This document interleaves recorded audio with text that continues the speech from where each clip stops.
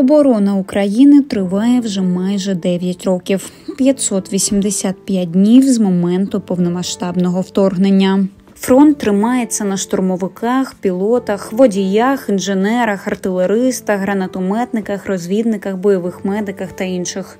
І частіше за все до війни ці люди не мали бойового досвіду, але встали на захист своєї держави, залишивши вдома родини, бізнес, усе чим жили. У мене воєнників приписному вже було одразу в течение 6 годин з'явитися. Ми були в составі 34-го батальйону 57-ї бригади, і нас закинули одразу на всіх. Не медик, е, старшина, взводний, лейтенант, капітан, прапорщик. Всіх відправили в окопи.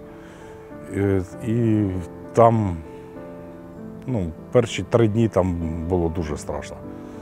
А потім якось вже втягнулись на нулі, то це ми місяць були саме в Тошківці. Був момент такий, що за, за одним розвідчиком 200-м пішло 5 чоловік, із цих 5 чоловік 3 двохсотих і 2 трьохсотих. То я старався своїх хлопців берегти, держав їх там 2-3 дня, по-моєму, ну, на третій день узнали, що вони ще не вийшли на ноль на позиції в окопи, і їх забрали. І ну, саме приємне було, коли ти їх бачив, десь зустрічалися на нарів чи в підвалі, чи їсти там всі разом. Ну, це було дуже приємно, що вони живі. За час служби Юрій отримав кілька нагород. Це знак пошани за оборону України та за порятунок життів. Чоловік врятував їх понад 100. Спасли ми там немало хлопців. Були і у нас із пневмоторак саме хворі, що витягували їх. І геть були важкі, що навіть міряли давлення там 60 на 20.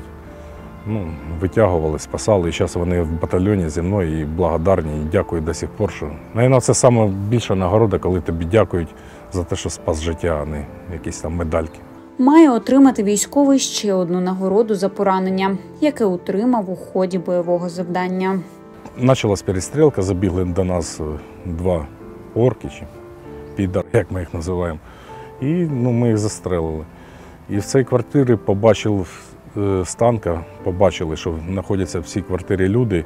Ну, це дві квартири паралельно на першому поверсі. І вистрелив танк, квартира загорілась.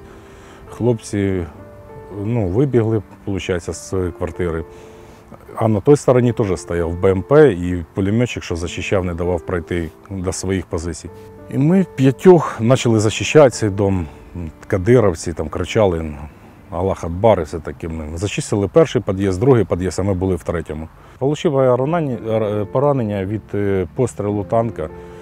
Получається, мене я ну, був опертий, стояв, дивився, щоб в під'їзд ніхто не зайшло. Від танку ударив по стіні, і я відлетів в другу сторону. Потеряв сознання, просто ну, трошки очуняв, бачив в крові весь. Ну, взяв автомат і далі стояли.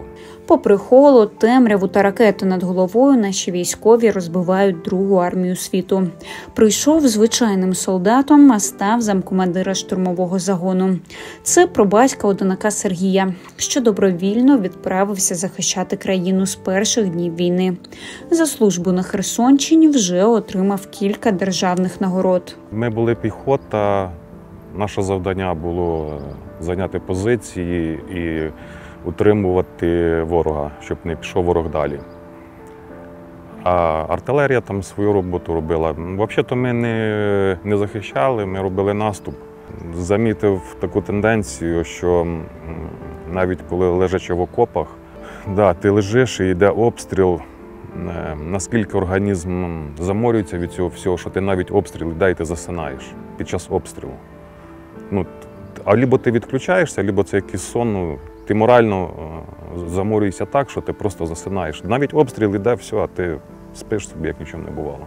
Найприємніші спогади про звільнення окупованих територій. Коли йшов наступ, е, ми звільняли села, райони, е, брали їхню техніку в, в трофейні. Танк Т-72, САУ. Багато техніки їхньої, яку вони залишали за собою.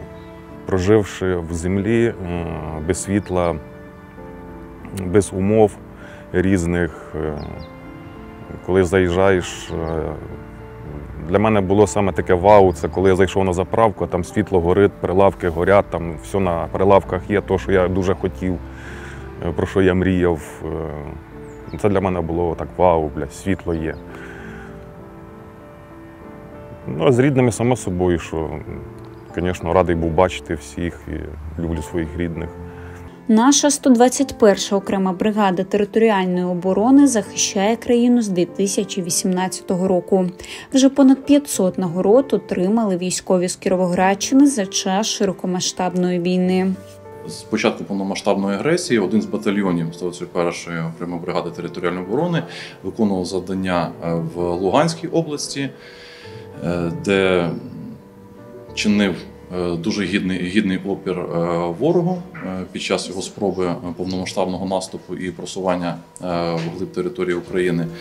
Е, Гідно справився з завданням. І інші підрозділи е, виконували завдання по е, звільненню е, правобережжя Херсонської області. Зараз е, 121 бригада ТРО е, виконує бойові завдання на е, півдні України з честю, з гідністю. Руки не опускаються, настрой бойовий, хочеться вигнати їх з нашої землі, і чим скоріше, тим краще. Для мене нагорода особисто нічого вона не означає. Для мене найкраща нагорода закінчення війни, перемога. Оце буде нагородою в загальному. А я зараз пройду реабілітацію, трошки мене підлічать і в строй обратно до своїх побратимів. Перемога 100%. Тільки не після того, коли ворог вийде е, з нашої країни, а перемога буде тоді, коли ворог піде звідси, і ми відбудуємо таку армію, щоб ворог навіть і думки не мав е, ще раз таке скоїти. Наші прикордонники відправили в потрібному напрямку руський воєнний корабель. Наші військові в останню мить життя під дулом ворожого автомата промовляли слава Україні. Вони підривали собою мости, вдарялись літаками в ворожу колону, робили все, аби не пустити ворога у свій дім ні на крок. Вони витісняють ворога зі своєї землі щодня та наближають нашу перемогу. повернутися всім до своїх сімей. перемоги. Перемоги та незламності. побажати їм віри в найкраще, віри в Бога, по-перше, е, мужності, здоров'я міцного. Ну, ми їм дуже вдячні за все. І ну, я навіть не знаю, як висловити нашу вдячність за наше мирне небо, за те, що ми можемо жити звичайним життям.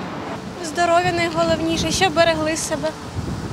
Е, Щоб вони завжди добре себе почували і скорішої перемоги.